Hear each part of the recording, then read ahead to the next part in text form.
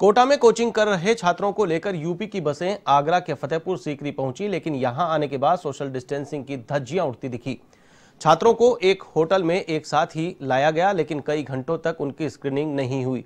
इसके चलते छात्रों को अधिक परेशानी हुई। बता दें कि कोटा में कोचिंग करने वाले छात्रों को लॉकडाउन के चलते परेशानी हो रही थी, इसलिए इन फंसे हुए छात्रों को बसों के द्वारा यूपी के कई शहरों में ले जाया गया है।